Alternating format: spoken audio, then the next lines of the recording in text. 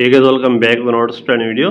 Guys in this video we will discuss that when you try to sign out or log out your apple id you may face a problem that sign out is not available due to restrictions. So how can you fix this problem and you may remove restrictions from your iphone or ipad?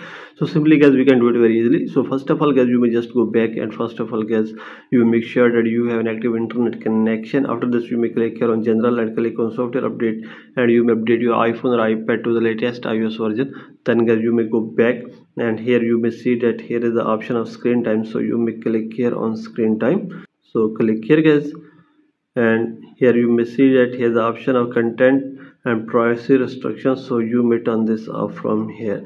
Then go back and you may click here on change screen time passcode so you may click here and you may turn off screen time passcode. So click here and you may put your password so let's check. Now guys here the option of share across devices. You may turn this off from here also.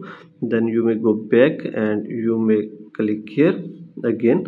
On settings click here on your apple account and you may check that now sign out is available and you can sign out easily. So by all these methods you can fix it very easily. So this is the video guys. For more videos please subscribe our channel